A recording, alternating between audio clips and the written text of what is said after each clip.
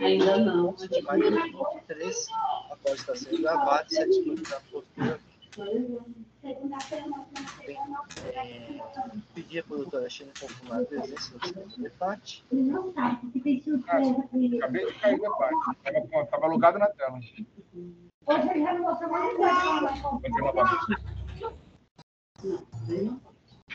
Onde estamos a trabalhar?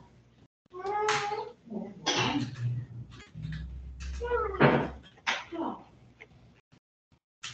Ali no. Qual café? Ali. Isso. É. Porque no ano passado eu não fiz para vocês.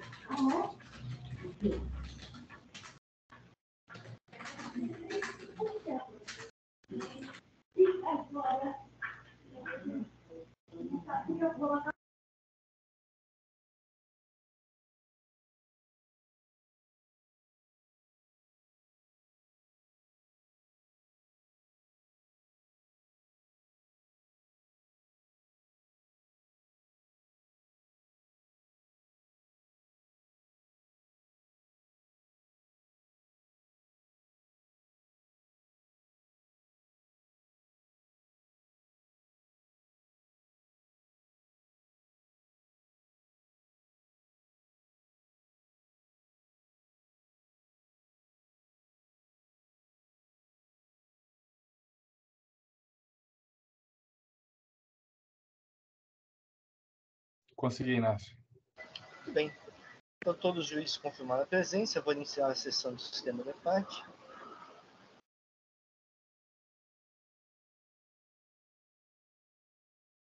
Temos quatro processos no dia de hoje. Vamos começar os trabalhos com os processos em que há pedido de sustentação oral e o patrão está presente.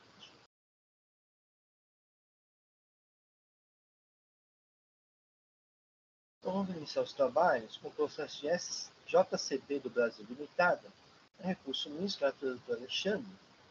É o momento que eu vou fazer o registro da presença do patrono.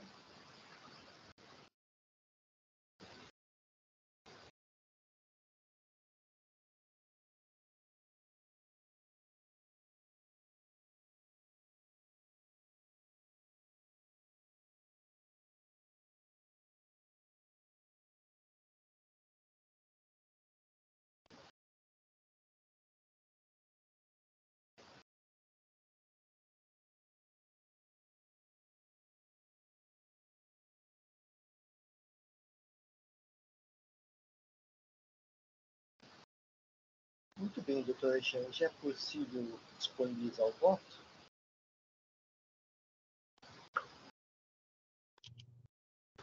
Só um minuto.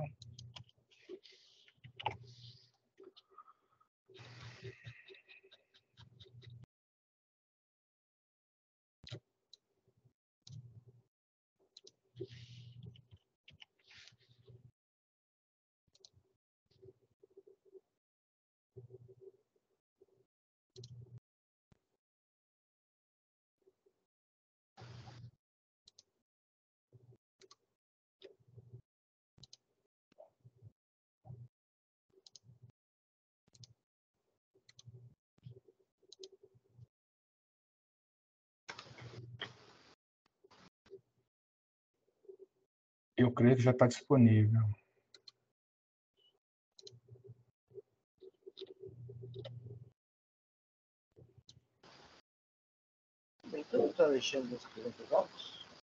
Pois não. Bom dia a todos, antes, né? Perdão, doutor Fernando, os demais colegas. É, a empresa JCB foi autuada aqui pelo fisco, na autofração, que inicialmente ele era composto de 11 itens. É, olhando nisso, temos aqui em julgamento um recurso de ofício, recurso ordinário, interpostos em face da decisão de primeira instância, que foi julgada procedente pelo AIM, composto de 11 itens, e tendo que a contribuinte logo de início na defesa, efetuado o recolhimento dos itens 1, 7, 8, 9 e 10. esses itens foram confirmados pelo fisco posteriormente, em diligência. Então, desde logo, não houve mais a, a, não houve análise dos autos, dos autos, nem na decisão de primeira instância, nem nas diligências a respeito desses itens. Então, passaram a ser analisados nos autos apenas os itens 2, 3, 4, 5, 6 e 11. Item 2, acusação de falta de pagamento do imposto, devido a, em razão do, da, empresa, da empresa ter indicado operações de exportação, sem provar que as exportações teriam ocorrido no prazo de 180 dias.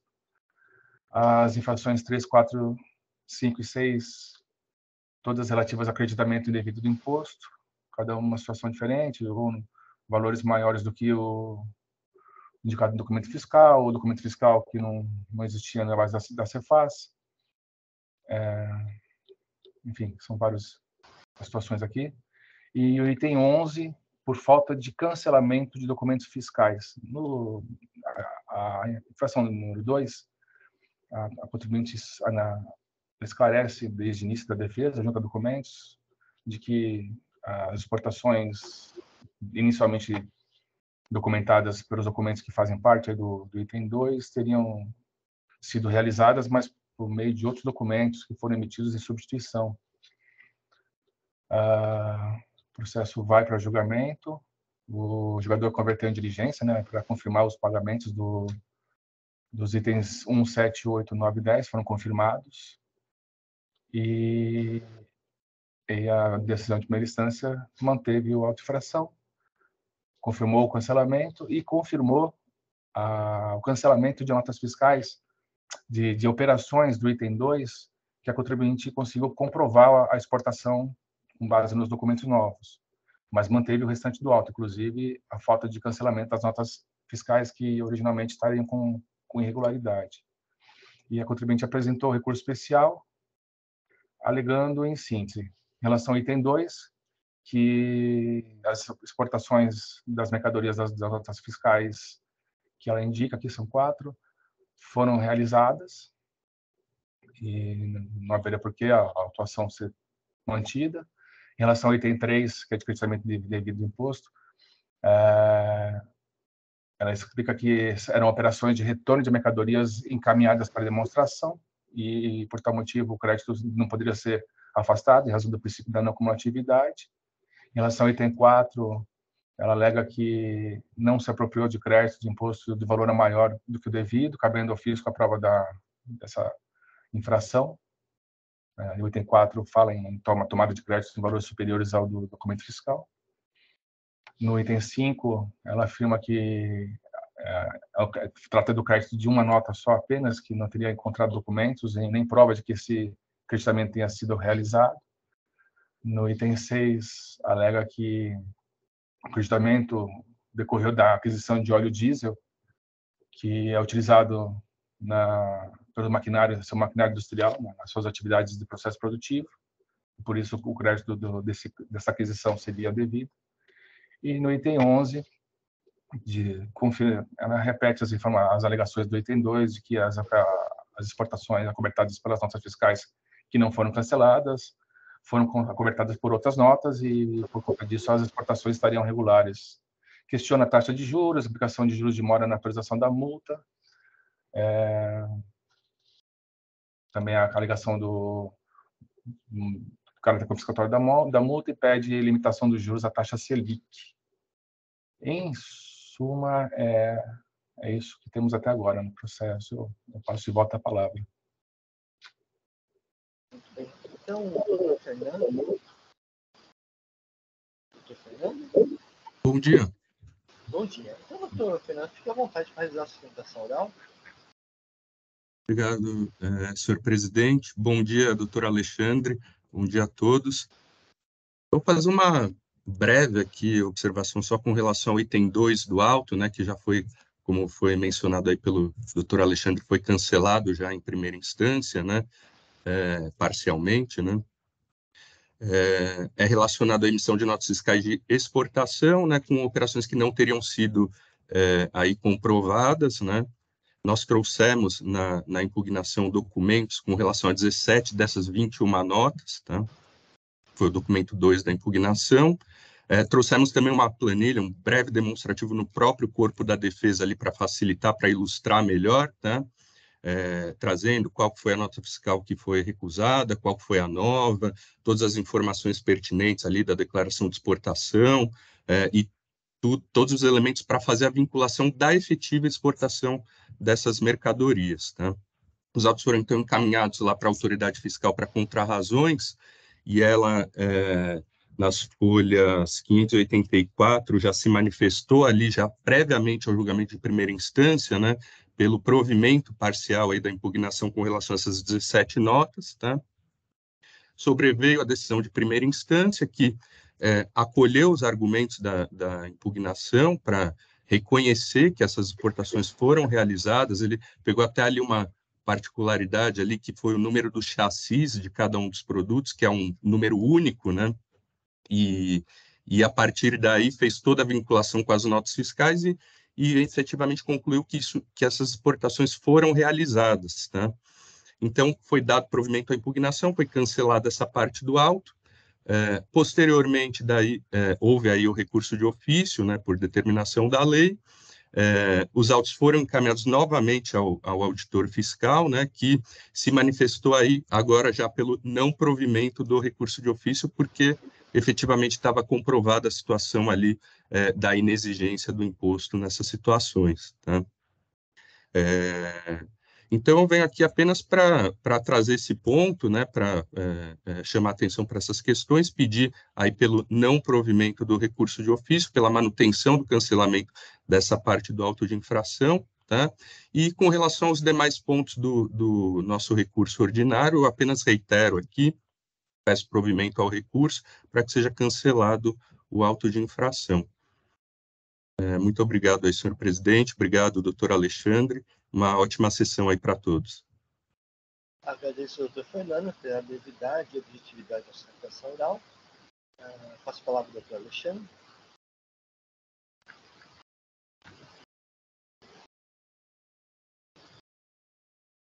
É, está sem som, doutor Alexandre? Desculpe. Vamos lá. Ambos os recursos interpostos preenchem os requisitos formais previstos em lei para seu processamento, motivo pelo qual deles conheço e passo sua análise. Análise inicialmente o recurso de ofício. O contribuinte atuada atua na fabricação, montagem, venda, distribuição, representação, aluguel, importação e exportação de máquinas e equipamentos para terraplanagem, pavimentação e construção e no item 1.2 do AIM, foi acusado de deixar de recolher ICMS devido, nos meses de novembro, de 2017, novembro e dezembro de 2017, por ter indicado operações de exportação em notas fiscais de sua emissão, sem que essas operações tenham ocorrido no prazo de 180 dias da saída da mercadoria de seu estabelecimento. O contribuinte trouxe com a defesa provas de que a maior parte das operações impugnadas pelo fisco haviam se concretizado, tendo a decisão recorrida cancelado parcialmente o item 2, com base nos seguintes argumentos. E eu vou ler só a parte grifada da decisão. Essa contestação, a impugnante apresentou provas de que, das 21 operações, em 17 delas as mercadorias foram efetivamente exportadas, embora em data posterior a 180 dias. A identificação foi possível ao compararmos o número do chassis, único para cada bem, conforme segue.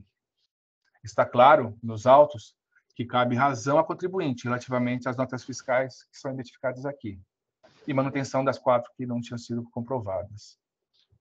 E é cancelado esse item, parcialmente, segundo meu voto.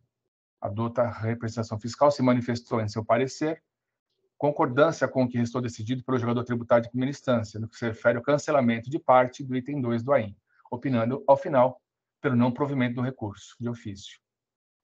A contribuinte esclareceu ainda em defesa e comprovou por documentos que a maior parte das operações impugnadas pelo fisco item 2, vinculadas às notas fiscais que são indicadas aqui, foram objeto de emissão de novos documentos fiscais, em razão de inconsistências constatadas nesses primeiros documentos emitidos.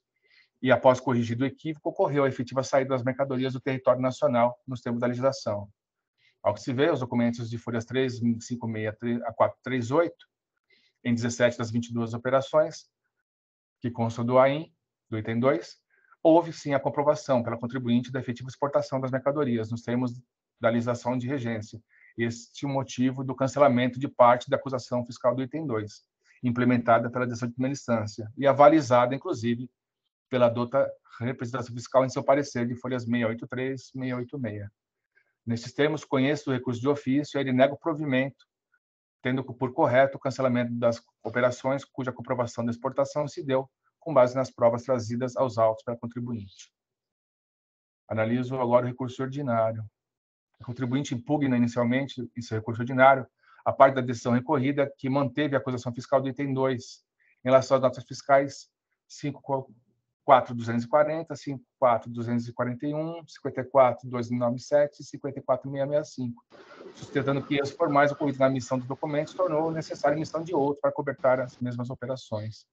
Ocorre que, diferente do que ocorreu nas, com as operações que foram canceladas em primeira instância, não houve comprovação de que, em relação às notas fiscais já, já mencionadas, teriam sido emitidos novos documentos em substituição, muito menos vieram aos autos comprovantes da efetiva exportação das mercadorias indicadas em referidos documentos fiscais, devendo a acusação fiscal do item 2, referente às mencionadas notas fiscais, ser mantida nos termos em que decidido em primeira instância, por ausência de provas hábeis a infirmar a acusação fiscal.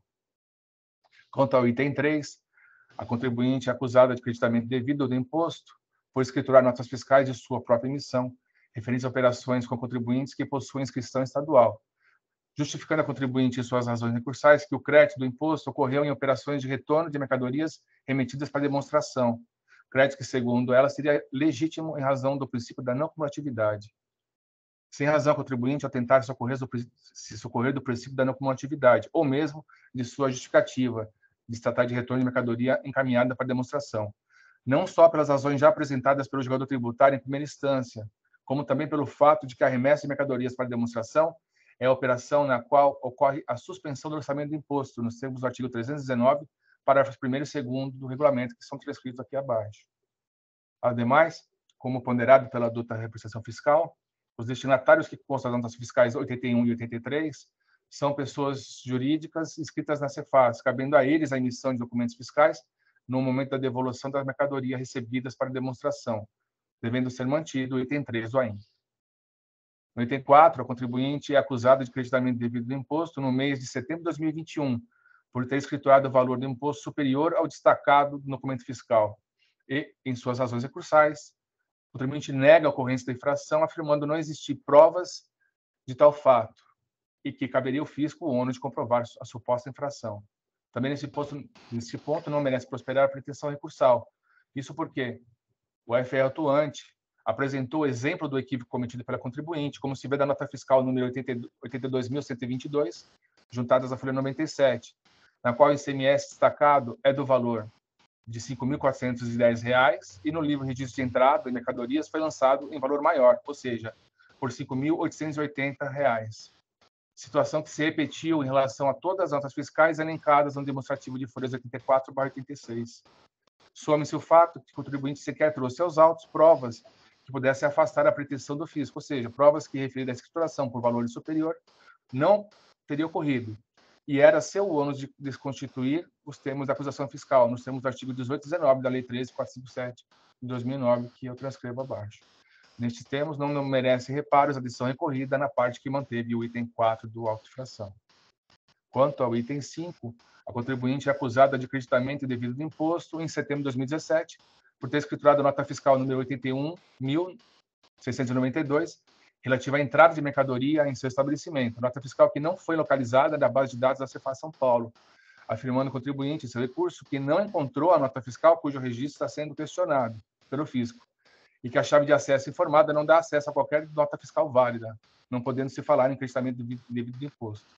Ora, o lançamento da nota fiscal número 81692 no livro de registro de entradas é fato incontroverso e pode ser verificado no documento juntado aos autos pela FR atuante às folhas 88 confirmando a tomada de crédito do imposto referente à nota fiscal que não consta registrada no sistema da Cefaz. Também não ocorre a afirmação de que a chave de acesso vinculada à referência da nota fiscal não permitiria acesso a tal documento. Isso porque esse foi exatamente o motivo pelo qual surgiu a acusação fiscal deste item, pois, embora a referência nota fiscal não conste na base de dados da Cefaz, foi escriturada pela contribuinte com a respectiva tomada do crédito. Assim, como a contribuinte não apresentou justificativa plausível para a tomada do crédito do imposto, referente à situação da nota fiscal já mencionada, mostra-se correta a acusação fiscal, devendo ser mantida a decisão também em relação ao item 5 do AIM. Quanto ao item 6 do AIM, a contribuinte é acusada pelo fisco de crescimento devido imposto na aquisição de mercadoria para uso e consumo do próprio estabelecimento, afirmando ao contribuinte em suas razões recursais que referido crédito do imposto decorrer da aquisição de óleo diesel BS500, utilizado como insumo de sua operação, por ter utilizado nas máquinas que trabalham em seu processo produtivo.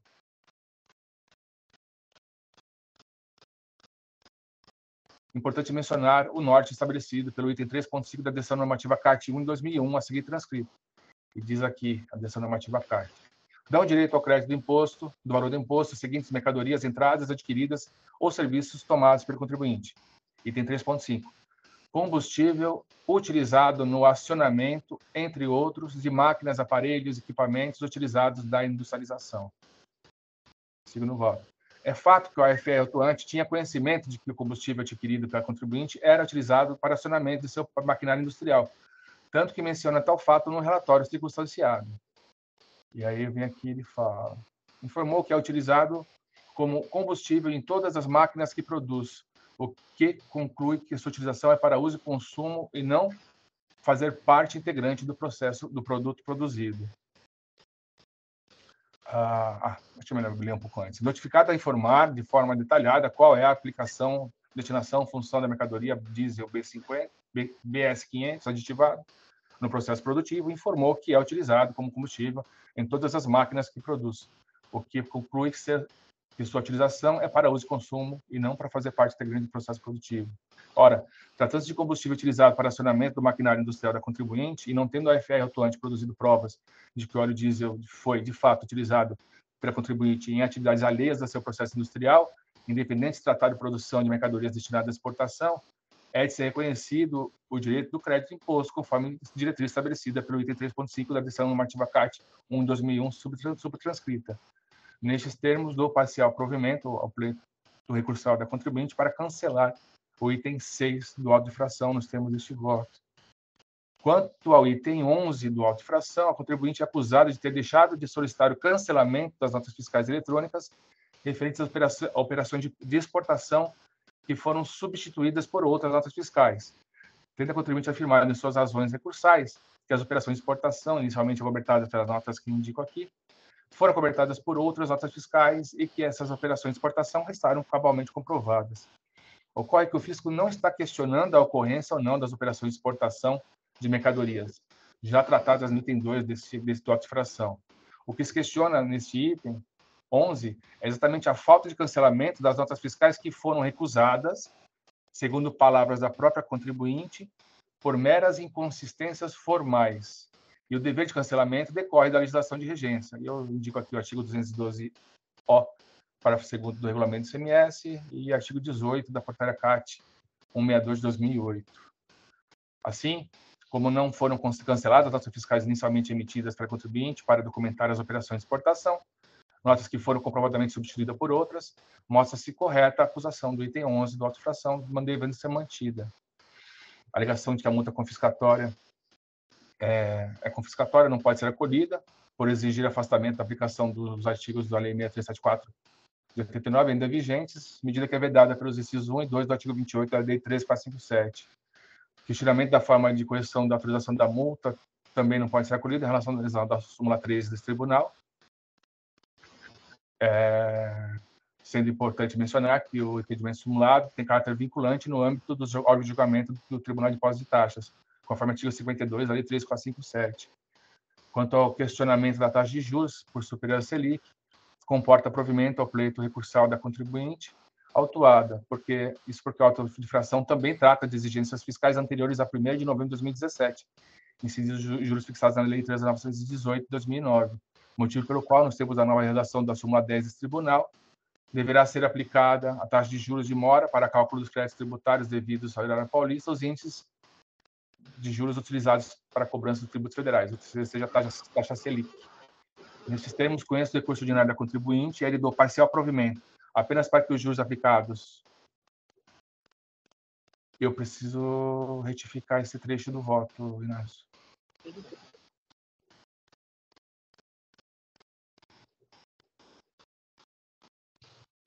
Você pode? É possível,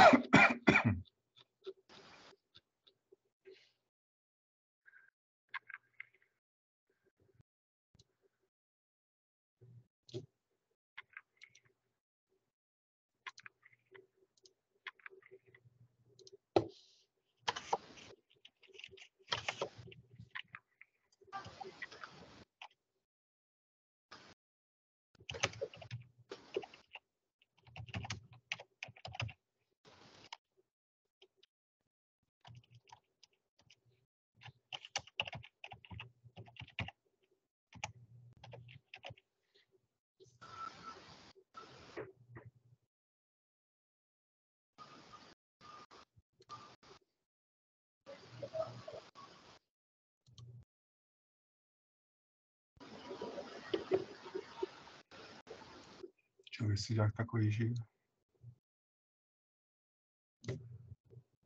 Eu sigo aqui. Nesses termos, conheço o recurso ordinário da contribuinte, aí dou parcial provimento para cancelar o item 6 do AIM e também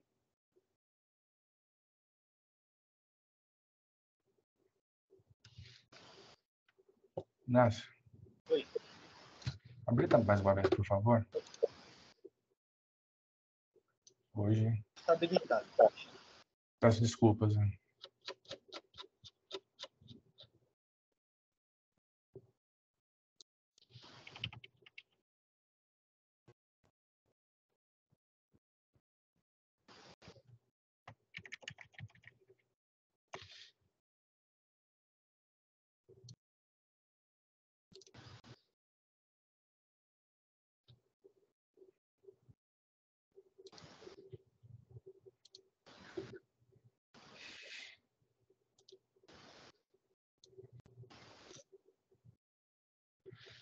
Então, eu finalizo. Nesses termos, conheço o recurso ordinário da contribuinte, ele dou parcial provimento para cancelar o item 6 do AIM e também para que os juros aplicados no AIM sejam limitados à taxa Selic, conforme súmula 10 do tribunal, mantendo-se no mais a decisão recorrida nos termos em que proferida.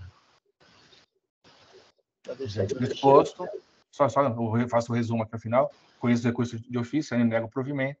Conheço o recurso ordinário, ele dou parcial provimento. É como voto. Alexandre, a Luciana pediu a palavra.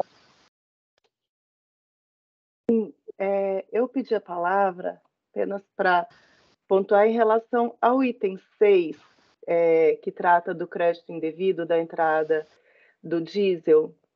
É, quando foi notificada pelo fisco a justificar a tomada do crédito, nas folhas 118 a 121, a contribuinte respondeu à notificação informando que o óleo diesel era, era empregado é, é, no, nas palavras deles, em todas as nossas máquinas. E apresentou uma listagem que indica os modelos desses equipamentos, que são os equipamentos por eles produzidos, os, os equipamentos que elas comercializam. É, e até eu entrei, é, a, é, essa listagem ela foi feita só pelos códigos dos modelos, mas eu inclusive entrei no site da, da recorrente para fazer essa checagem, essa comparação, e os, e os, modelos de equipamentos ali indicados são os modelos que eles produzem, são os produtos finais deles. É, depois, na sede de defesa e recurso, a contribuinte alterou essa, essa informação e falou que os, o combustível era utilizado em todas as máquinas empregadas no processo produtivo e não mais empregado nas máquinas produzidas. Só que com essa alegação de que é, é, ele era usado nas máquinas empregadas no processo produtivo, ele não demonstrou quais são as máquinas que usam esse combustível. É, Para que ele pudesse fazer esse aproveitamento, no nosso entendimento, ele deveria é, ter identificado quais são essas máquinas, qual o papel que essas máquinas desempenham no processo produtivo deles, e que demonstrassem que essas máquinas efetivamente são movidas a óleo diesel. Nada disso foi apresentado. Então, é, resta aqui ainda o entendimento do, da, da, informação inicial prestada pela contribuinte de que esse óleo diesel era usado nos produtos finais deles, depois de finalizada a produção, talvez para movimentação desses equipamentos no pátio, mas ele não era é, utilizado no processo de industrialização. Então, por isso, o entendimento do fiscal, e que a representação fiscal concorda, é de que esse combustível utilizado nas máquinas produzidas após a sua finalização e não no processo produtivo, ele deve ser considerado como produto de uso e consumo e não como insumo de produção que permita apropriação de crédito. E por essa razão, a representação fiscal entende que o crédito foi corretamente glosado e que o item 6 da autuação deveria ser mantido. Obrigada. Obrigado, doutora Luciana.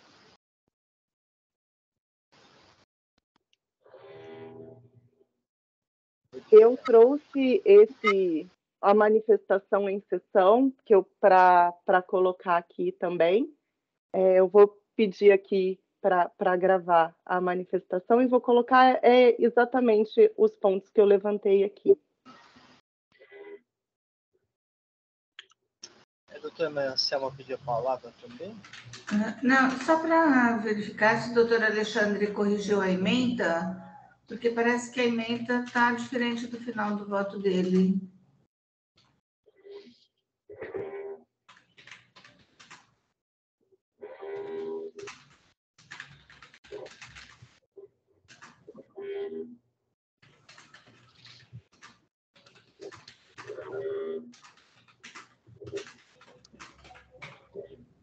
Cortando aqui para mim, deixa eu ver.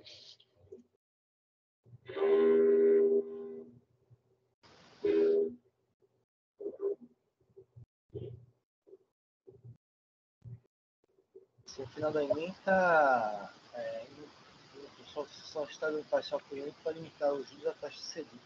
É.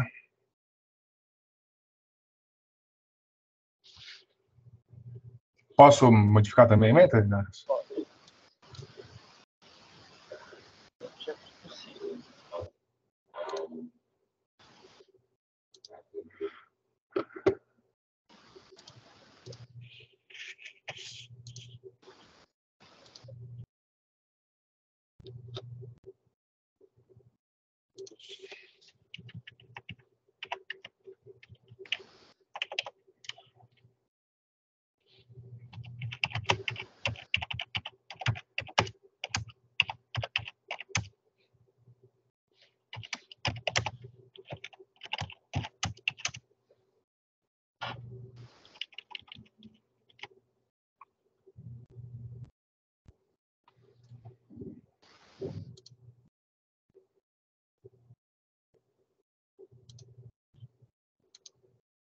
Obrigado, doutora.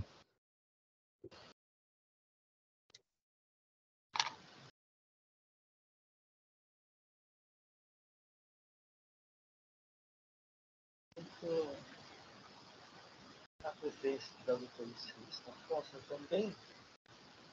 Estou vendo aqui a manifestação da FR, é, ele vai mais ou menos na linha da doutora Luciana. Então, de fato, foi uma alegação, é, a alegação do contribuinte foi, da defesa foi diferente ao que ela informou durante a fiscalização. Daí, nesse sentido, eu entendo que a, realmente a, a autuada deveria demonstrar o consumo do, do óleo diesel na sua linha de produção, e não como havia informado anteriormente. Será que o patrono pode esclarecer esse ponto, Inácio? Ele poderia esclarecer, mas o fato é que talvez nos autos não haja essas provas. Pode esclarecer, doutor Fernando? Isso, porque, porque, porque a divergência de informações entre o que foi informado na fiscalização e. É, então, na verdade, assim, o, a informação que a gente tem, tá, é essa da, que está no recurso, tá? que foram os elementos que a gente trouxe ali, que era o que a gente teve acesso é, à época ali da, da elaboração da impugnação e do recurso, tá? É, enfim, a gente não tem mais deta é, detalhes além daqueles que já estão lá, tá? A gente não, não teve acesso a mais informações, tá? Bem, eu vou fazer então a referência, no sentido da doutora Luciana,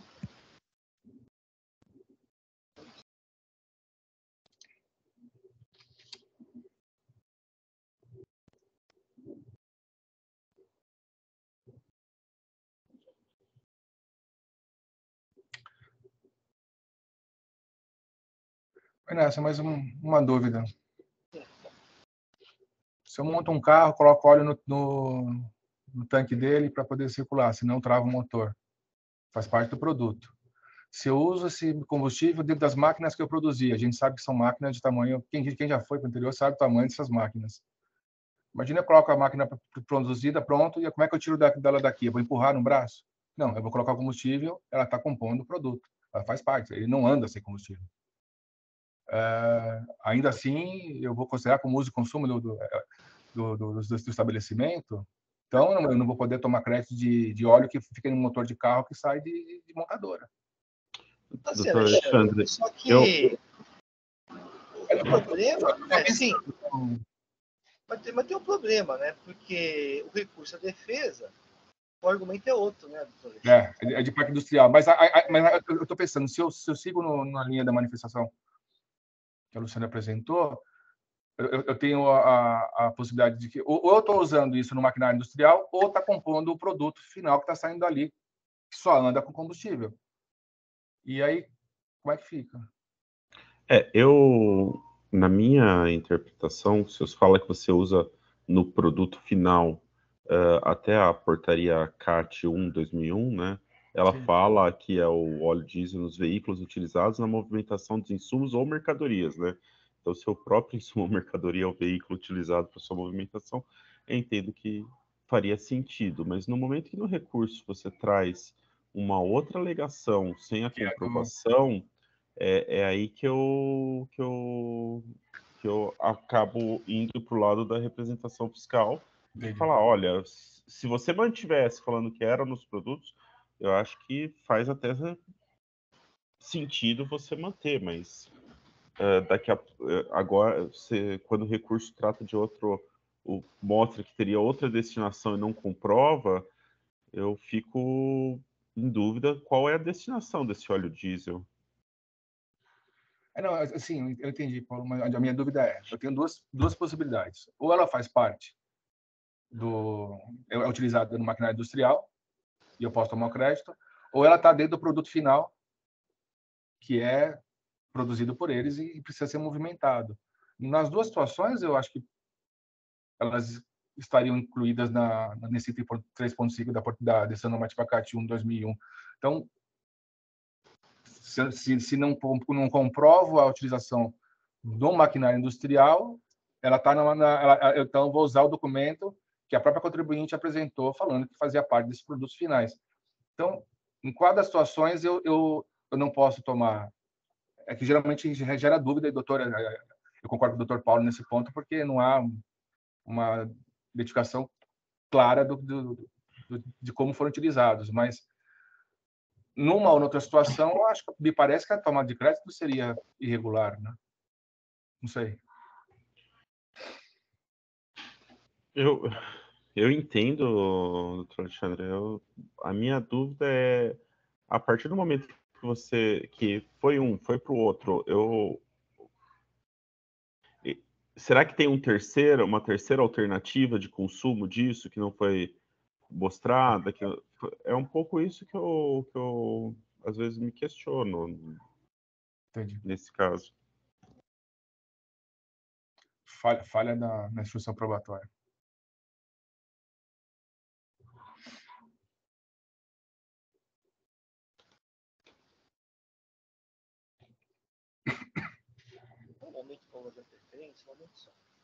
Tá bom.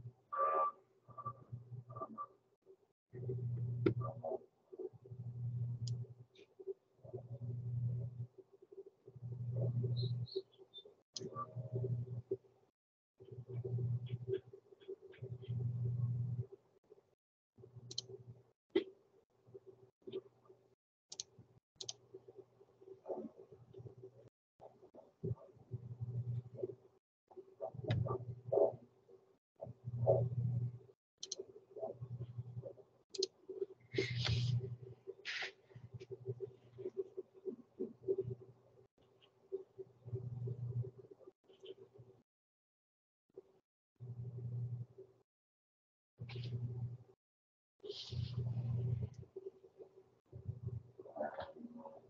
you.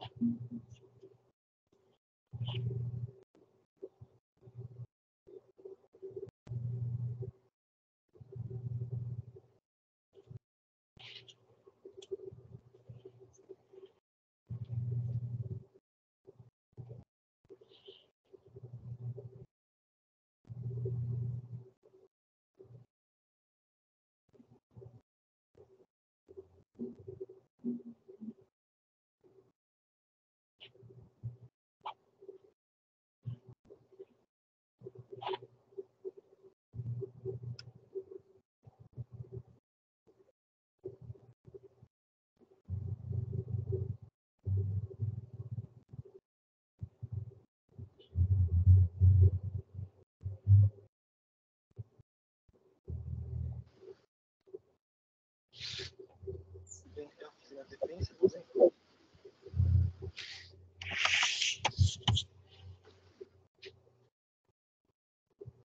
Tá bom, bem. Voto de preferência. De sessão legislativa para divergência quanto ao 6 do óleo. Alega recorrente que o óleo diesel utilizado no seu processo. É, desculpa. Alega recorrente que o óleo diesel seria utilizado no seu processo produtivo. No entanto, tal alegação deve ser calmamente provado que não ocorre nos óleos. Não há indicação do maquinário que utilizaria o óleo diesel, nem prova de que, mesmo que fosse indicado, o maquinário se prestaria à produção dos bens. Nesse sentido, como apontado pela reputação fiscal sua preferência. Entretanto, não houve demonstração de quais máquinas utilizam- utilizariam o combustível, de forma que a alegação carece de comprovação. Olha, para que seja possível o aproveitamento do crédito, não basta a alegação que o combustível seja utilizado em máquinas empregadas no processo produtivo. É necessário que sejam apontadas que máquinas são essas, qual o papel desempenho no processo produtivo, e se demonstre que essas máquinas são movidas a óleo diesel. Nada disso foi apresentado. Assim, não se sabe de fato qual a destinação do óleo diesel, pois o alegado na defesa do recurso não foi provado e diversos informaram do autuado durante a fiscalização. Então, destaque mantém a alteração do princípio do AIM, no mais acompanha integralmente o relator. Inácio, Só ficou faltando o final aqui. a emenda, a emenda tá igual a minha. Eu vou, eu vou mudar aqui para o final da conferência. Eu vou ter.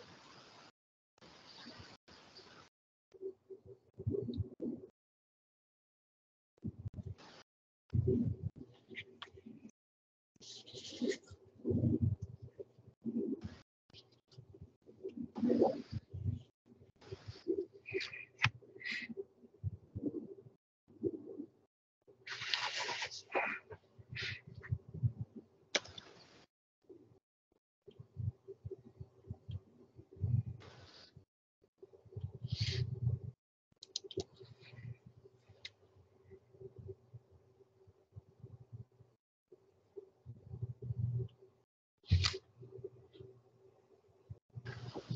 corrigir a emenda. No finalzinho, então, conhecimento com recurso de ofício, conhecimento parcial pelo recurso ordinário apenas para limitar a aplicação dos juros ao montante do imposto da multa taxa C.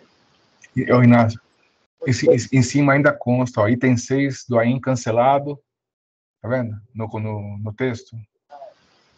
Ah, no texto, tá.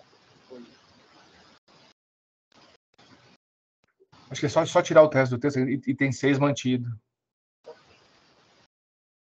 Ele deleta o restante da, da frase.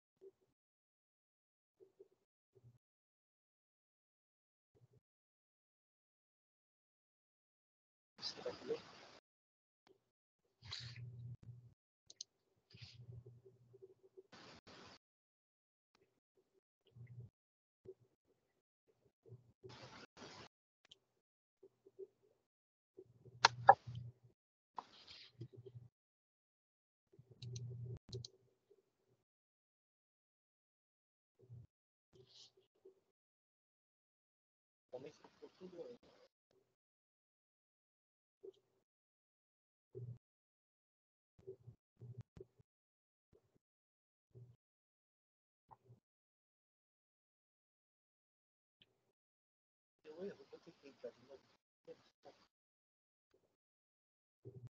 Não deu para ouvir, Inácio.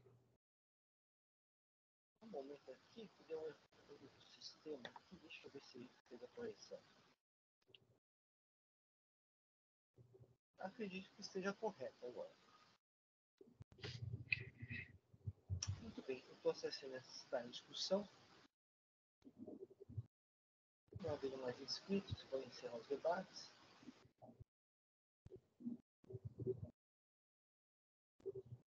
Uso de presença.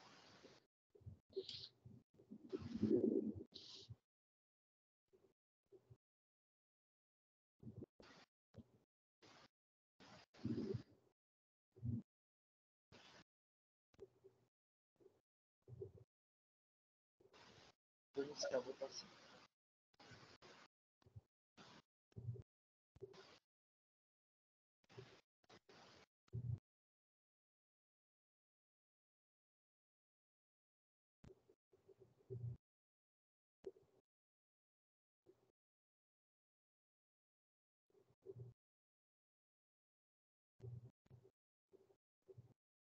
Encerrada a votação, prevaleceu meu voto, foram três votos a, a, a, meu favor e o voto a favor do Alexandre.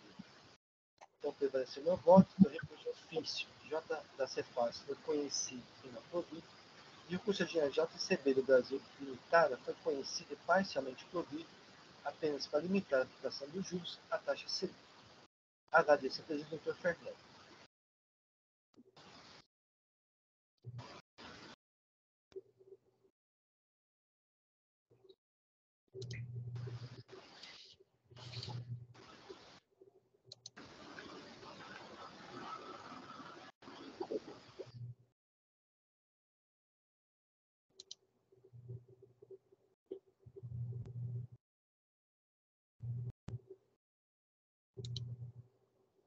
Passar para o processo. Não há mais certificação oral.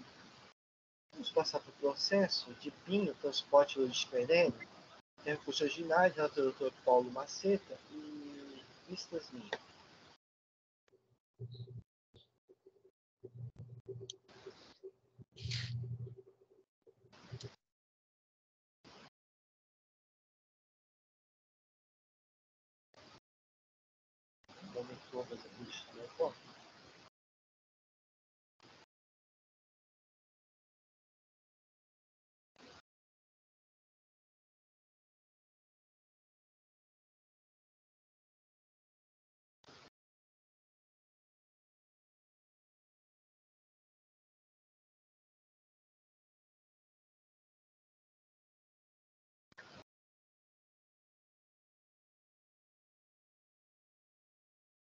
Esse processo teve pauta é um processo do Dr. Paulo Maceta.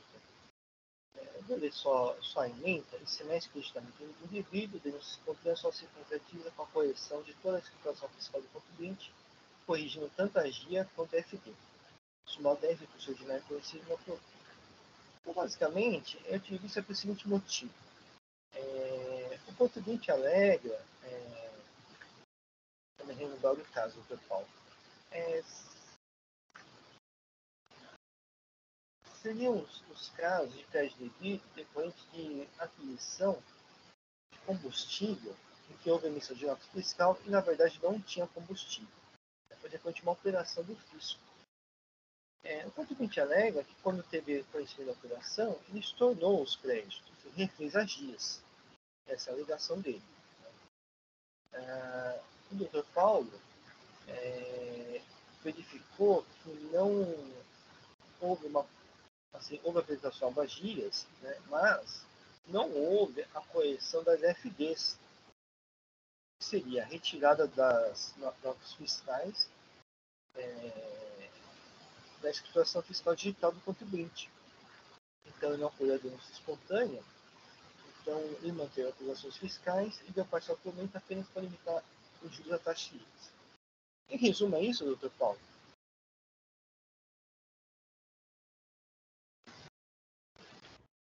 Sim, é isso mesmo, presidente. Eu tirei vistas porque é para verificar é, um pouco mais de detalhe essa alegação do contribuinte, então eu vou passar para o meu voto, que é bem curtinho. Tá?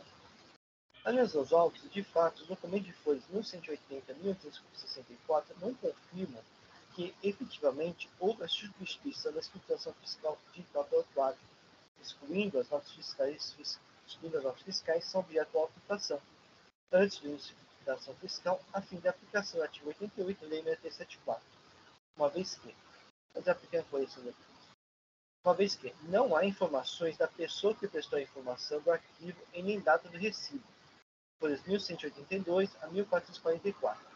Ou seja, não há provas que efetivamente foram recepcionadas pela Secretaria da Fazenda. Quando há tais dados, se refere ao período a partir de 1 de 1 de 2017, período este cujas notas fiscais confessadamente no recurso ordinário não foram retificadas.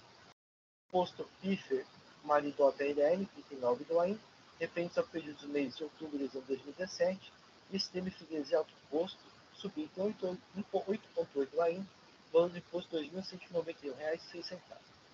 Assim, não houve alegada retificação de estruturação fiscal digital, excluindo as notas fiscais são objeto AIN, antes da ação fiscal. Então, pelo esposo acompanha integralmente o trator para conhecer a parte autônoma do recurso ordinário, apenas para limitar a aplicação dos juros, promover do imposto e da multa para a Só uma pequena correção assim,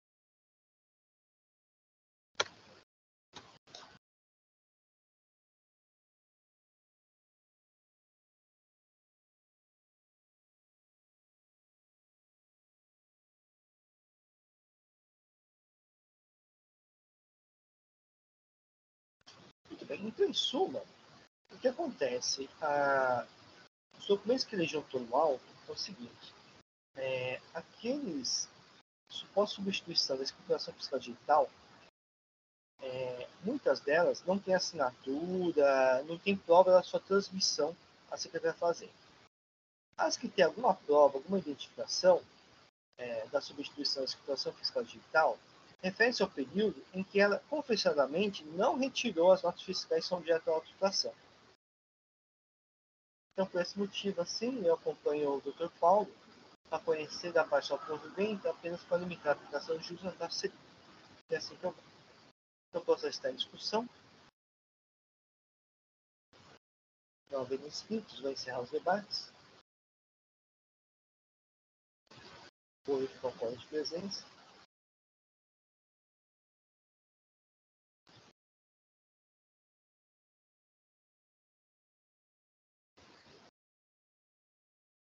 Iniciar a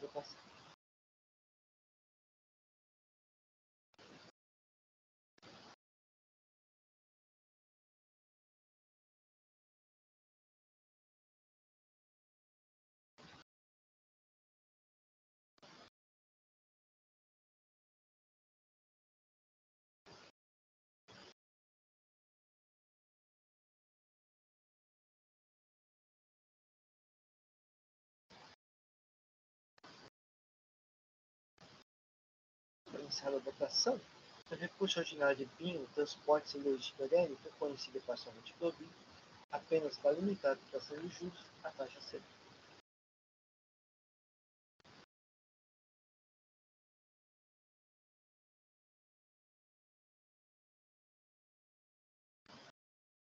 Vou passar para o processo de movimento soluções em transportes limitada, é recurso ordinário, não há protesto de tentação legal, relator doutora avaliação.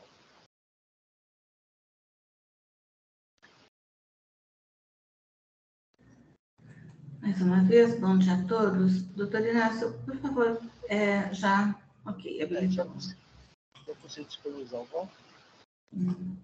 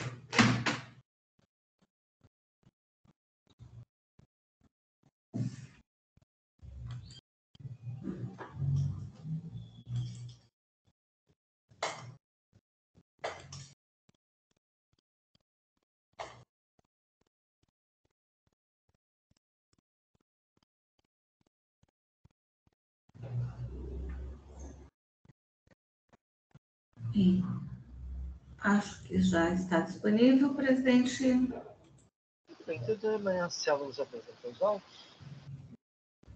Ok.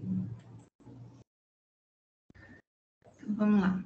É, Trata-se de recurso ordinário, né, é, interposto por Movimento, Soluções, Transportes Limitada ME, e são infrações relativas a, ao pagamento do imposto por deixar de pagar ICMS, é, deixou de pagar o ICMS no período de janeiro de 2014 a dezembro de 2015, uma vez que promoveu operações tributadas de prestação de serviço de transporte, destacando o ICMS nos respectivos conhecimentos de transporte no modelo 57. É, também o item 2 foi por infração relativa a documentos fiscais e impressos fiscais, contribuinte emitiu no período de janeiro de 2014 a dezembro de 2015 conhecimento de transporte eletrônico, apurado no demonstrativo 2A, em anexo, e relacionados e detalhados no demonstrativo 2B, com destaque do valor do imposto em prestação não sujeita ao pagamento do tributo, por se tratar de prestação de serviço de transporte intramunicipal também deixar de, de exibir a autoridade fiscalizadora no prazo é, combinado e notificação específica para tal fim os livros de registro de entrada, saída, referente ao período de janeiro de 2014 a dezembro de 2015, em razão de ter o contribuinte deixado de transmitir ao Sistema Público de Escrituração Digital os arquivos digitais da EFD, Escrituração Fiscal Digital.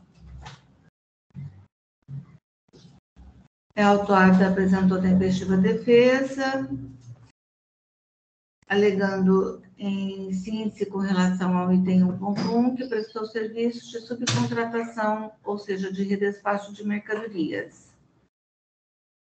Alega é, reconhecer o alega reconhecer o vício na emissão do documento fiscal que originou o presente auto de infração consequentemente, o crédito tributário. Porém, a relação jurídica entre as partes, que originaram o fato gerador, é única e exclusivamente de subcontratação de transporte, requerendo a nulidade do AIN.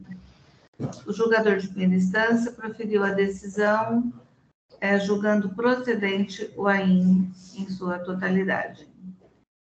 O recurso é, é, ordinário foi interposto, houve admissibilidade, foi distribuído à terceira Câmara do Tribunal, onde o ilustre julgador é, converteu o julgamento em diligência, para que o autorante correlacionasse os conhecimentos de transporte não escriturados com as notas fiscais também não escrituradas.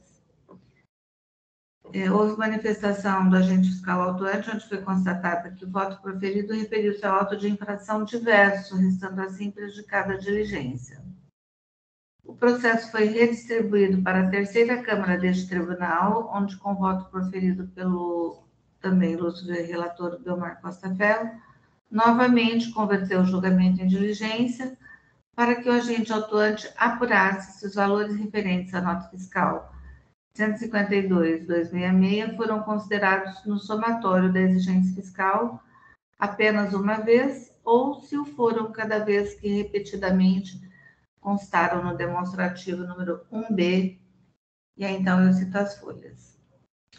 O agente fiscal de renda autuante, esclarecendo que houve erro na configuração da planilha denominada demonstrativo número 1B, referente às operações realizadas no ano de 2014, e em decorrência disso, ao utilizar a função de linhas, repetir na parte superior inadvertidamente selecionado a linha referente ao CT número tal, que devido ao equívoco, a linha impressa em todas as folhas, contudo, à exceção das folhas 1, seus valores não foram computados ao somatório, ou seja, é, com base nesse equívoco, não houve é, a somatória em duplicidade.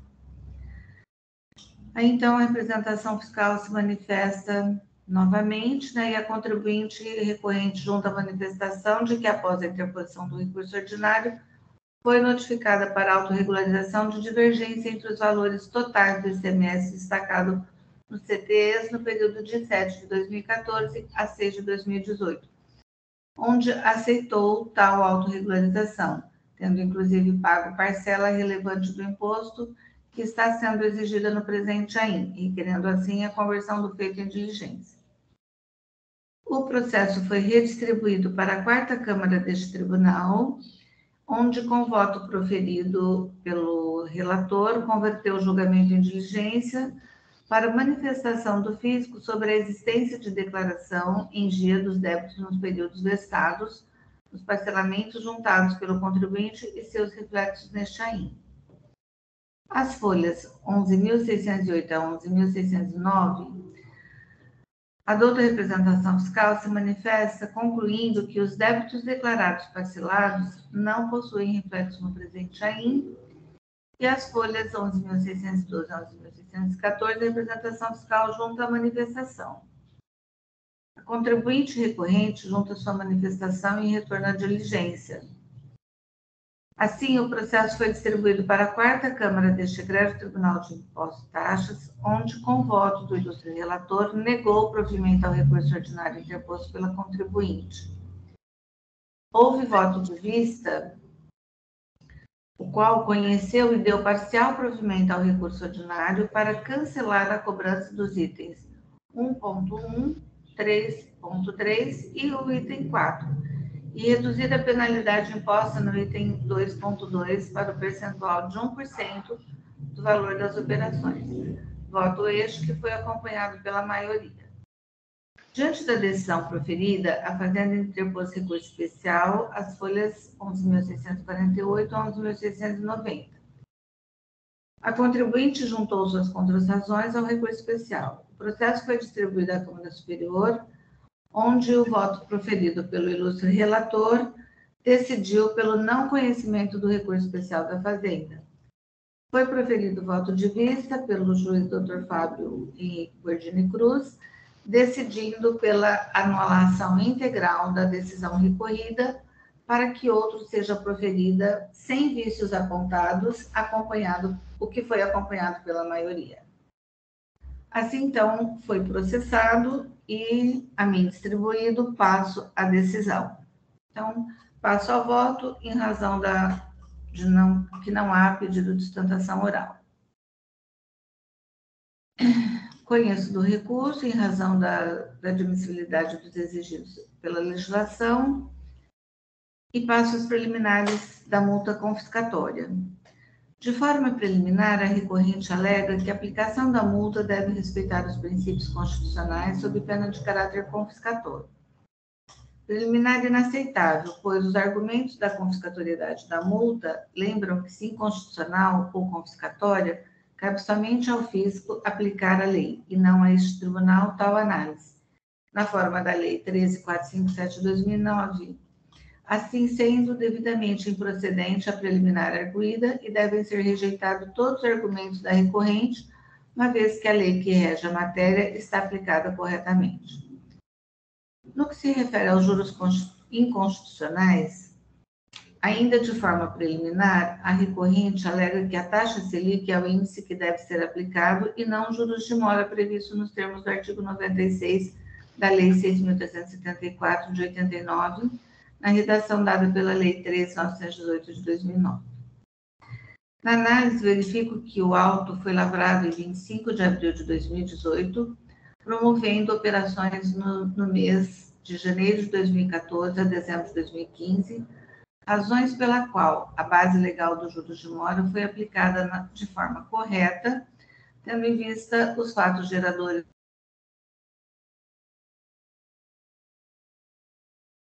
deste egrégio tribunal no que se refere à aplicação dos juros de mora e refiro-me à súmula 10 de 2017.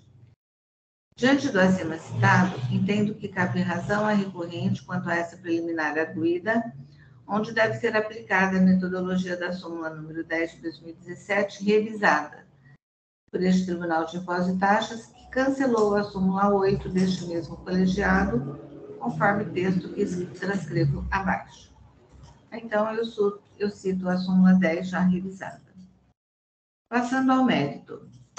No mérito, em suas razões recursais, a recorrente alega que o item 1.1 contém erro grave que majorou indevidamente mais de 60% o valor cobrado pelo imposto, tratando-se de má-fé, pois foi lançado de forma reiterada das folhas 24 a 4.554 a mesma operação referente à nota fiscal de número 152.266, de 2 de janeiro de 2014, no valor de R$ 19.090.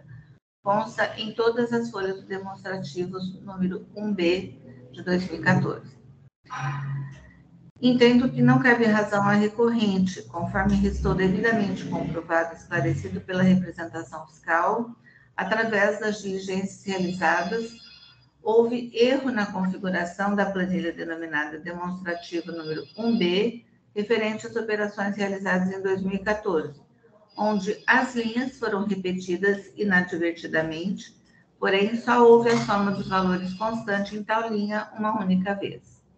Para melhor esclarecimento e aprofundamento, transcrevo abaixo a explicação da representação fiscal de folhas 11.500. Eu vou passar a leitura para melhor entendimento.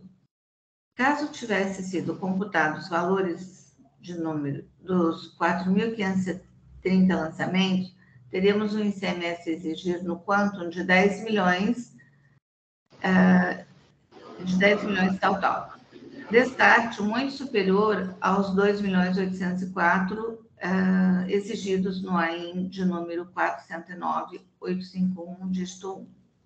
Ademais, conforme a própria decisão proferida na Câmara Superior pelo ilustre relator, Dr. Fábio Henrique Bordini Cruz, as folhas 11.817, que eu também transcrevo e destaco. Em resposta à diligência, do, o doutor auditor fiscal informou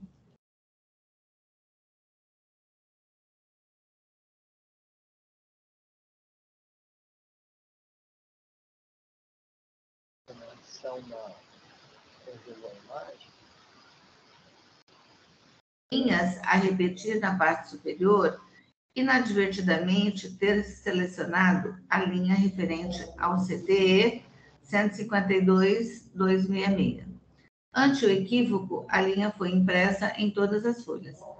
Aí eu grifo. Contudo, a exceção de folha número 1, seus valores não foram computados no somatório da exigência fiscal, não havendo, portanto, qualquer interferência no imposto realmente devido e exigido no AIM.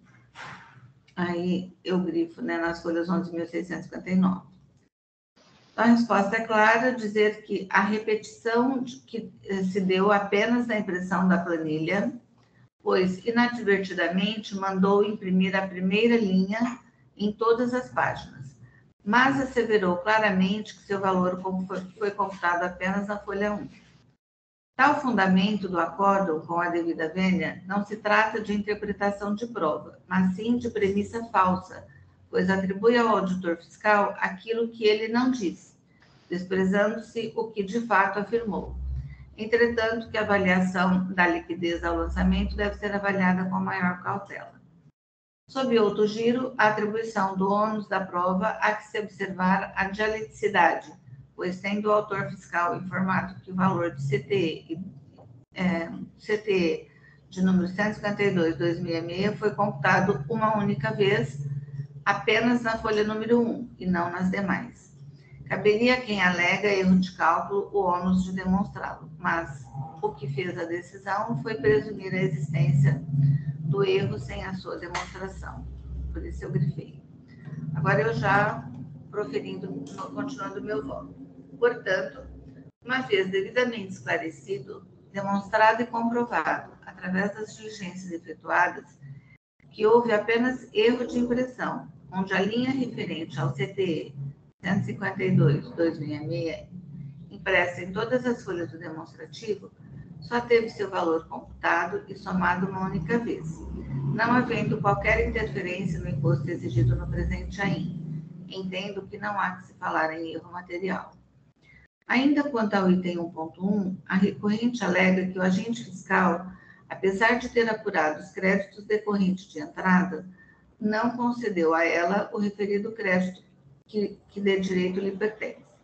Porém, não cabe razão à recorrente, pois não é obrigação do fisco exercer direito não exercido pelo contribuinte. Ao contrário, o lançamento de créditos eventualmente existentes deve ser efetuado pelo próprio contribuinte em seus livros fiscais, né? Não disse aqui, mas em seus livros fiscais, e sujeito aos limites previstos na legislação do ICMS. Com relação ao item 2.2, a recorrente alega que as operações não são fatos geradores do imposto e, por tal, houve apenas erro no destaque do referido imposto e que não gerou qualquer prejuízo ao Estado e nem enriquecimento da recorrente. Também entendo que ah, não cabe razão à recorrente. Primeiramente, esclareço que a infração do item 2.2 de fato, não está sendo cobrado imposto, mas somente multa. No entanto, está sendo penalizada, pois emitiu conhecimento de transporte eletrônico CTE, com destaque do imposto, que em operações e prestações não sujeitas ao imposto, mesmo que tal operação ou prestação é expressamente vedada, né, põe em negrito, no artigo 186 do RICMES 2000. Isto é, Neste caso, ao meu entendimento, embora a recorrente não causasse prejuízo ao erário, a operação é expressamente vedada na legislação. E como a infração restou devidamente comprovada nos autos pela fiscalização, mantém o item 2.2, tal como a decisão proferida na primeira instância. Já com relação ao item, aos itens 3.3 e 3.4, a recorrente alega que os mesmos não devem subsistir por ferirem princípios e garantias constitucionais. Ao seu entender, a mesma está sendo autuada por infringir um decreto-lei e uma portaria.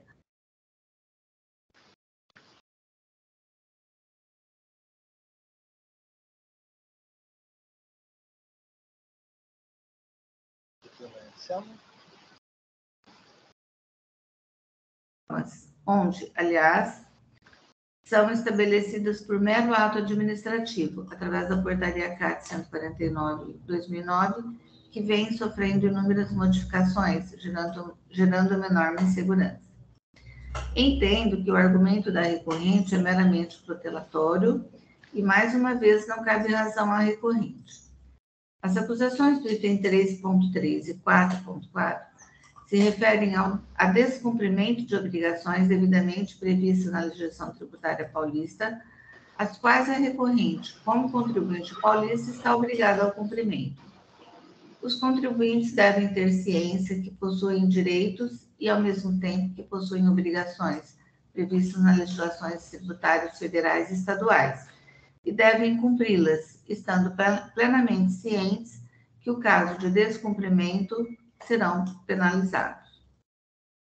A Carta Magna, em seu artigo 146, inciso 3, determina que cabe a lei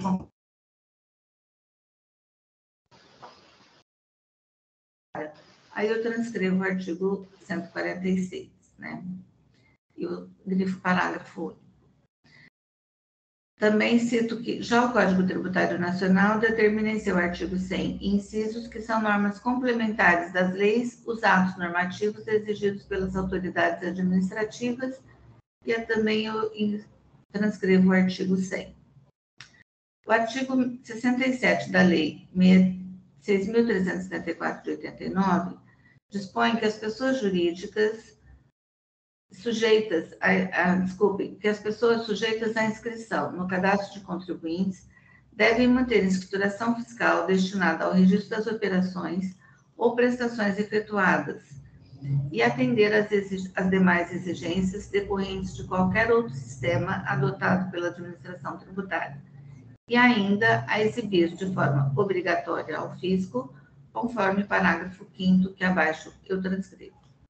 Então, menciona aqui o artigo 67, também o, parágrafo 5 e também menciono o artigo 497, 494 e 497, ambos do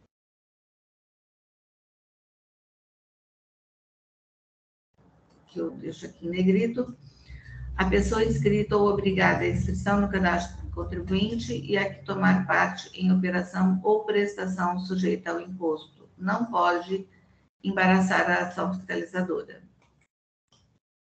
Sendo assim, uma vez que a recorrente foi notificada pessoalmente através das notificações aqui já mencionadas, né?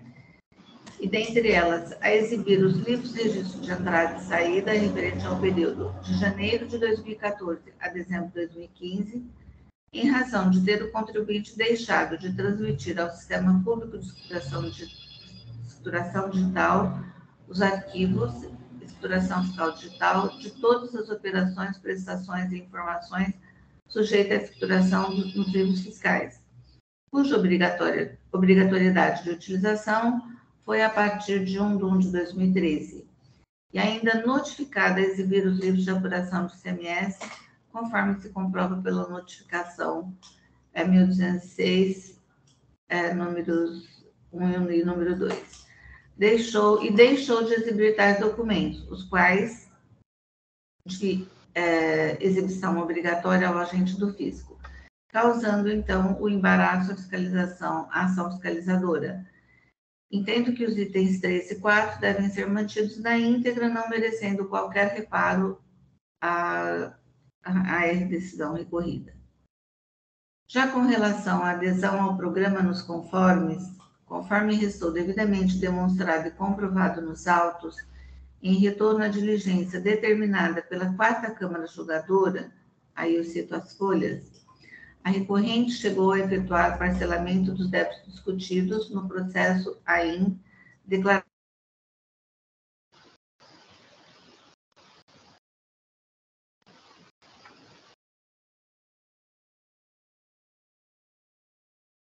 também,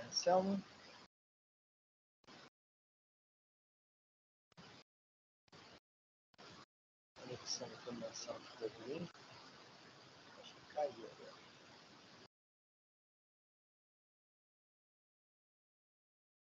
sem som, doutor Luciano?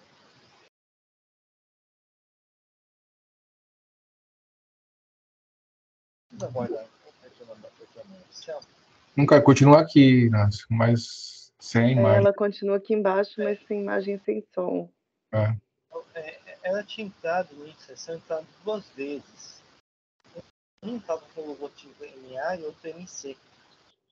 Acho que ela entrou em lugares diferentes porque ela estava no esse, acho que é um outro que caiu. Ah, tá. Oi? Então, eu tô sem som? Ah, não. Tá. tá e tá, sem, tá sem, imagem. sem imagem. É. Até onde vocês ouviram? Começou a falar do programa nos conformes. É. Ah, tá. Então, só um minutinho, por favor. É... Eu não vi que tinha caído aqui.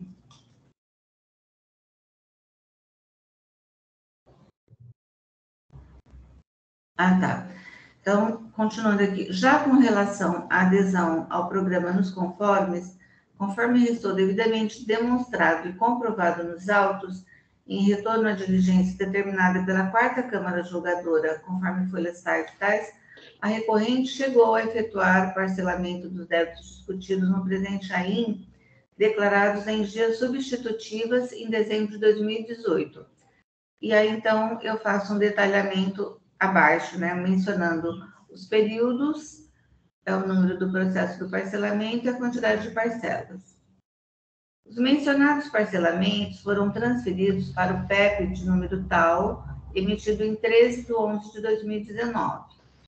Porém, esse parcelamento no PEP não foi celebrado, onde a própria recorrente solicitou, em 3 de 12 de 2019, o cancelamento de todos os parcelamentos mencionados acima, fundamentando esse pedido, alegando como equívoco, uma vez que o AIN epígrafe abrangia os anos de 2014 e 2015.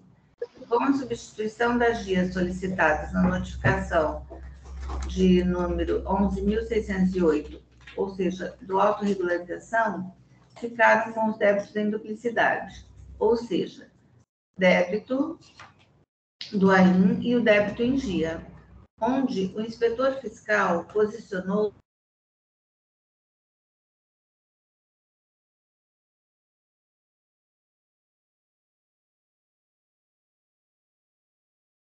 doutora Anselma ficou sem som de novo.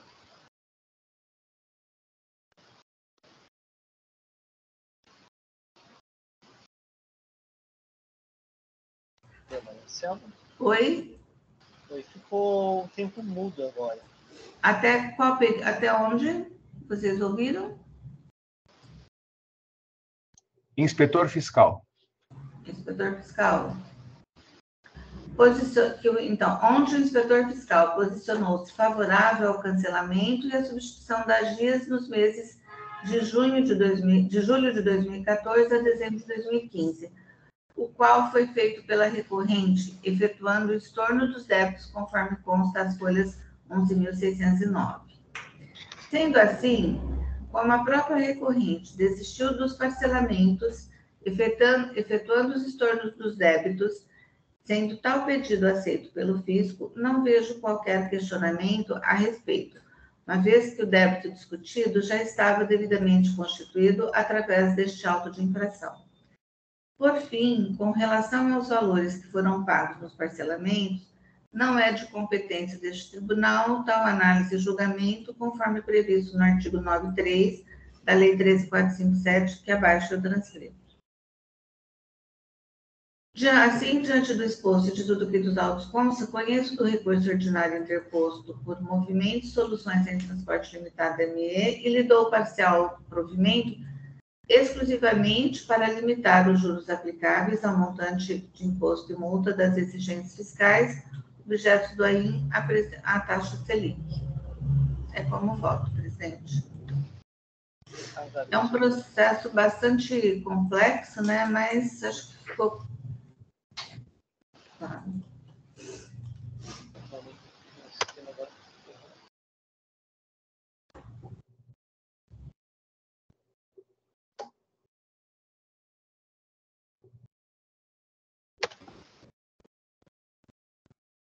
Agradeço, doutora Anselma. Então, o processo está em discussão. Inácio, Oi. eu estava dando uma lida no, no voto da superior e na, no, no voto anterior da quarta Câmara. Estou um pouco com dúvida desse processo. Posso dar uma olhada nele? Posso pedir vista desse caso? Pode, pode sim.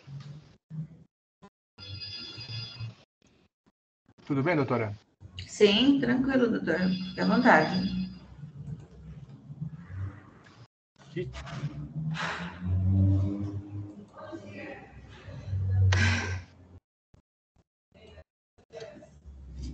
Porque vai. Nunca vi por problema pro- pro- proposta de regularização pelo nos conformes durante o trâmite de processo de, de autuado, auto-infração já lavrada. Mas- uma vitória direito, doutor Alexandre. Oi? Então, uma vista foi concedida ao doutor Alexandre. Tem um processo em vistas.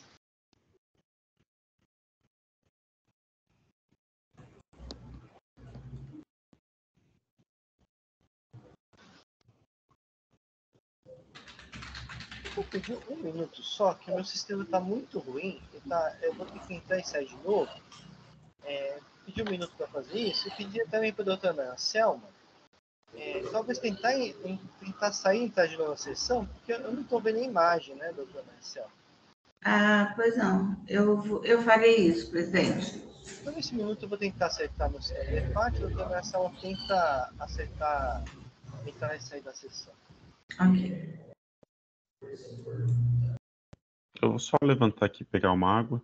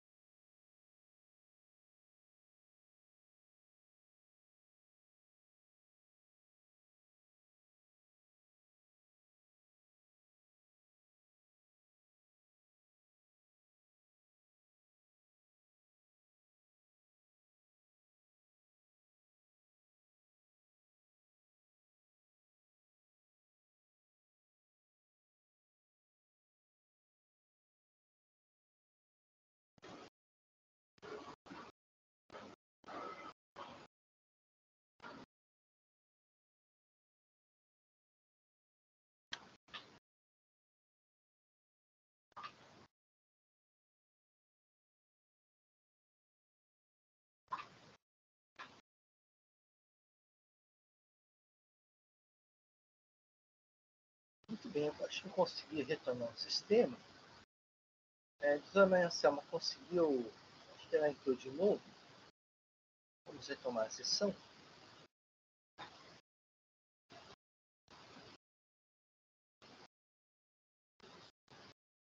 Dona Anselma.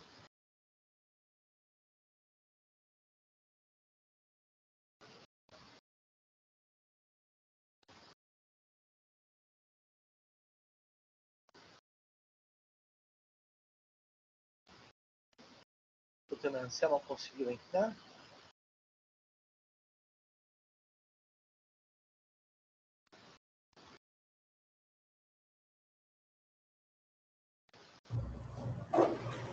Estão me vendo? Estamos vendo sim, agora está tudo certo. Ouvindo, né?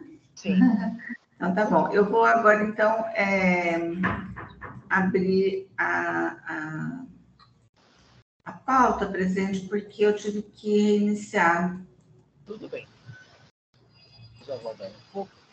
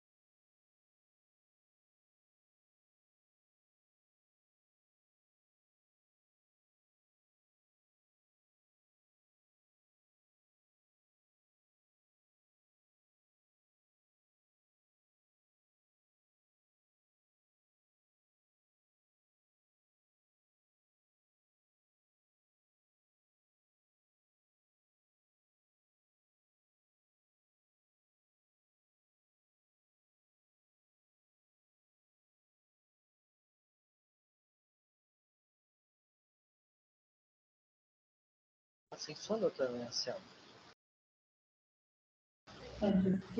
Travou aqui, presidente, porque o sistema não estou conseguindo acessar.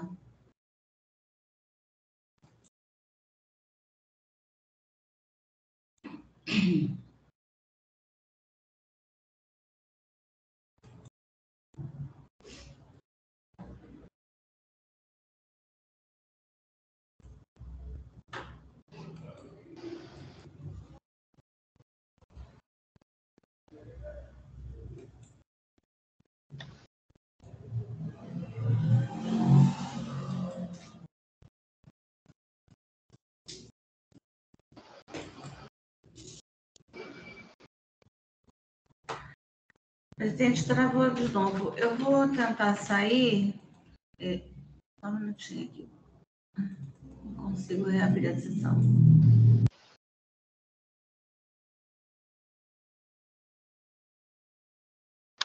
Vamos aguardar mais um pouco de amanhã.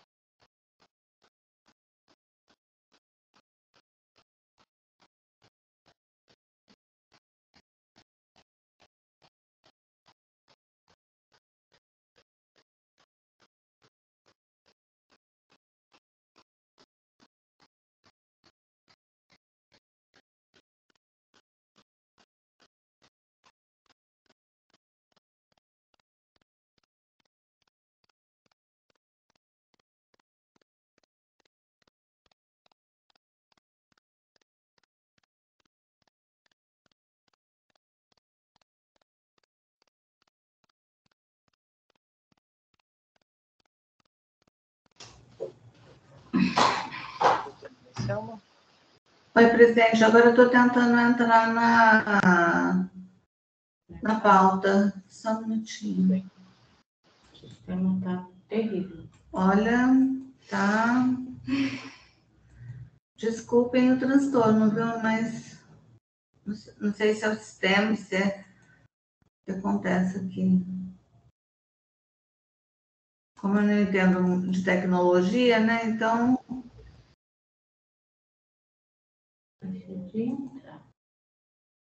aí, agora sim, deixa eu ver. Ainda não, não deu, deixa eu ver aqui. Já está conectando.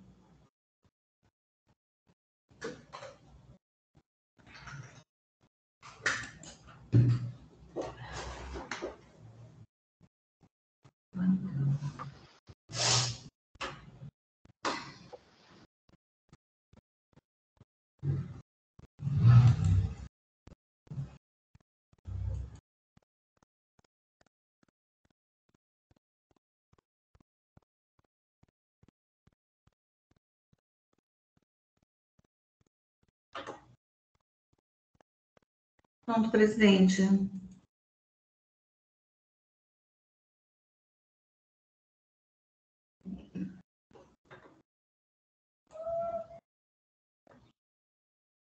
Então, o movimento já foi encerrado, né? Isso. Tá. Conseguiu, doutora Marcela? Consegui. Uhum. Bem, tudo bem. Então vamos tentar o último processo do dia de hoje. É, Comércio, Logística, Locações, Serviços e Transportes Limitada. Recurso ordinário, relator Dr. Paulo Maceta, não há protesto por sustentação oral. Vamos lá. O AIN ele tem somente uma acusação que é acreditar indevidamente de CMS, eh, que foi lançado como ativo permanente. Depois de notificado, autuada apresentou notas fiscais de compras de ativo não relacion- relacionados à inscrição estadual do, de quem escriturou, e sim destinados à matriz da empresa. A autuada apresentou defesa, houve a manifestação fiscal. Aliás, o auditor fiscal não se manifestou. Ah, teve a decisão de primeira instância que julgou procedente o AIM. E a autuada apresentou recurso ordinário, onde ela alega que a aquisição dos ativos permanentes fora realmente realizada pela matriz em Santos e a transferência para a filial de Paulínia não foi acobertada formalmente, caracterizando mero descumprimento de obrigação acessória. Assim, não há caracterização de creditamento indevido, havendo, portanto, erro de capitulação da infração, gerando a nulidade do AIM. É incorreto o enquadramento da infração no artigo 61, parágrafo 10 do RICMES. Autuação fere a não cumulatividade. Não deveria ocorrer o lançamento do AIM, dada a portaria CAT 115, e a multa é abusiva e confiscatória, deveria ser limitada a 20% do valor do imposto devido. A representação fiscal apresenta seu parecer, de contra-razões e os autos foram distribuídos à minha relatoria. Passo o meu voto no item 10. Inicialmente, cabe salientar que a autuada reconhece que não emitiu documento fiscal de transferência de ativo permanente de sua matriz em Santos para a filial de Paulínia, que é a autuada do presente AIM pela tomada de crédito de ativo permanente, sendo tais fatos incontroversos. A alegação da autuada de que a capitulação da infração está incorreta, pois deveria ser de mero descumprimento de obrigação acessória, por não emissão de nota fiscal não merece prosperar.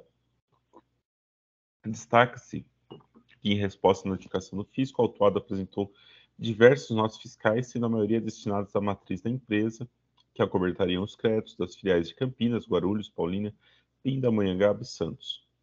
Ora, sem a nota fiscal, transferindo os bens de um estabelecimento para outro, não ocorre a transferência da titularidade dos bens e, portanto, não pode o estabelecimento que não tem a titularidade dos bens se creditar do ICMS de tais bens.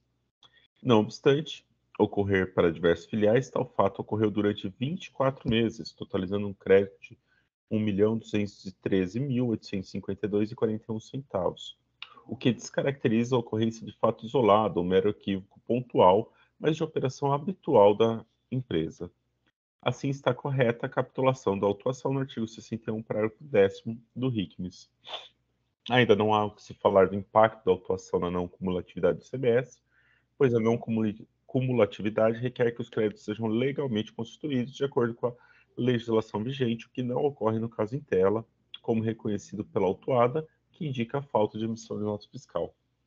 Também não merece prosperar a alegação de que a portaria CAT 115 de 2014 impediria o lançamento do AIM. Inicialmente, que para abarcar tal entendimento de que a portaria CAT 115 impediria a lavratura do AIM, teríamos que entender que houve mero descumprimento de obrigação acessória, que não ocorre no presente caso, como explicitado anteriormente. Mesmo que assim não, não fosse, o parágrafo 3 e o caput do artigo 10 da portaria CAT 115 demonstram que a não lavratura do AIM não é uma obrigação, mas uma opção após análise e decisão da Comissão de Controle de Qualidade, que eu transcrevo, vou pular a leitura. Assim, fica superada qualquer alegação da impossibilidade de lavratura dada a portaria CAT 115.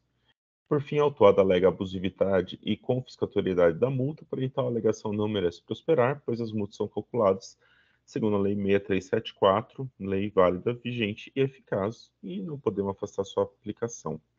Ante exposto, conheço o recurso ordinário e ele nego o provimento. É assim que eu voto, presidente. Eu vou registrar o voto. É...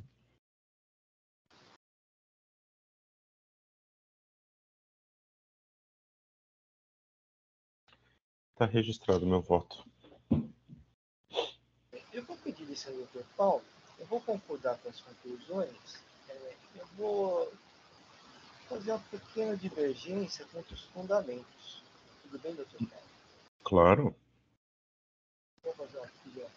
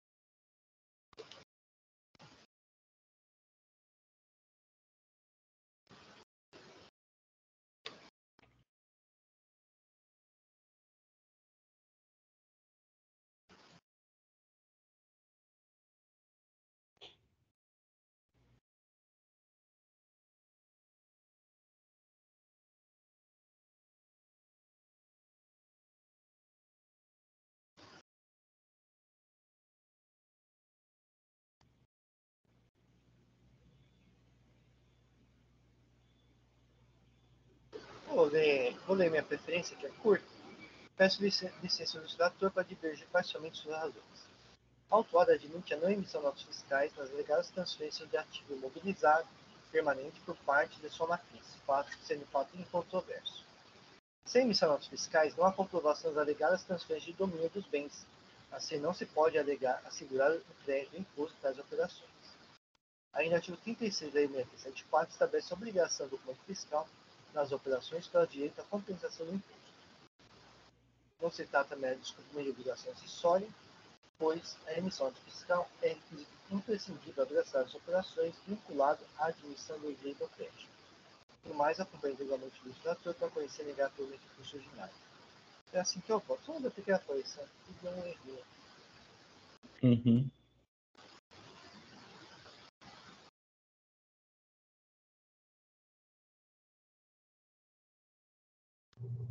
Vocês estão me vendo? Agora não. Acabou de. Nem você, Alexandre, nem a doutora Maria Anselmo. Não, deu deu uma, uma queda aqui agora no. Deixa eu atualizar, peraí.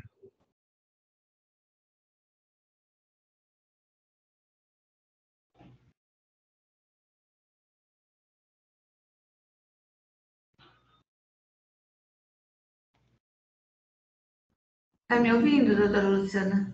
Vendo não? Sim, agora vendo Vendo também, também. doutora. Ah, vendo também? Então tá.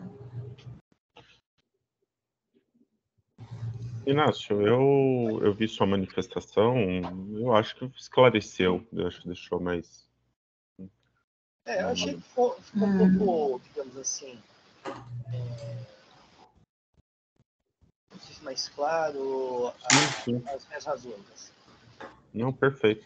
Pode, pode tirar uma dúvida, Paulo? Claro. Não teve, não teve a nota de transferência da matriz para filial, mas eles apresentaram nota fiscal de aquisição das mercadorias, né? Sim. Não lançaram no CIAP. Uh... No CIAP, eu acredito que foi lançado. É.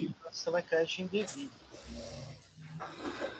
É, descreditou em todas as filiais, no caso dessa aqui do Alto Paulínia, mas isso é um procedimento da, da, da autuada de fazer para todas as filiais, como levantado pelo, pelo fiscal, e, e começou, se creditou na filial, enquanto o bem não estava na filial uh, formalmente, né? Ah, ele, é. ele comprou para a matriz e tomou crédito nas filiais. Isso. É, mas ele teria que ter feito a nota de transferência, né? É, ele alega que transferiu, só que não tem a nota de transferência. É. Então, sem a nota, eu não tenho nem a certeza absoluta uhum. que os bens realmente foram uhum. transferidos. Sim.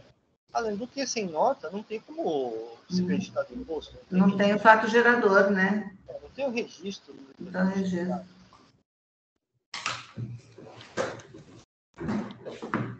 É, e vamos, assim, até tem que ter um.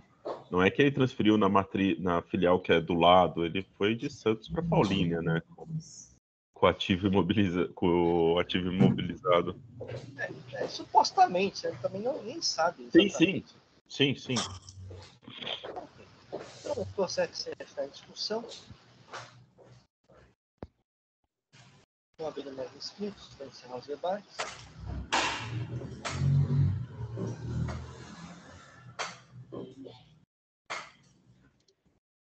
Vou verificar o ponto de presença.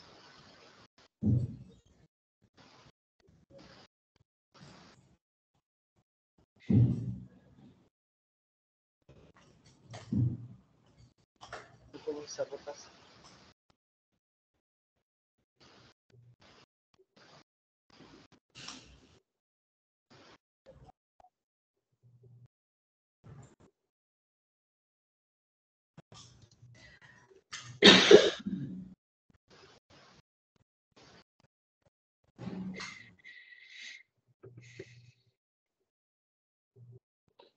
Iniciada a votação, recurso de relógio, comércio, logística, locações, serviços de transporte limitado, reconhecido e não provido.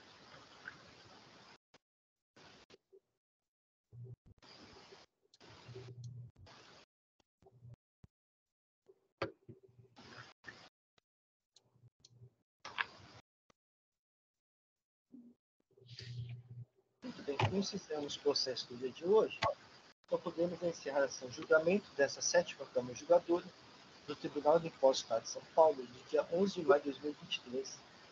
Agradeço a todos e todos e pediria para os logo encerrar a gravação.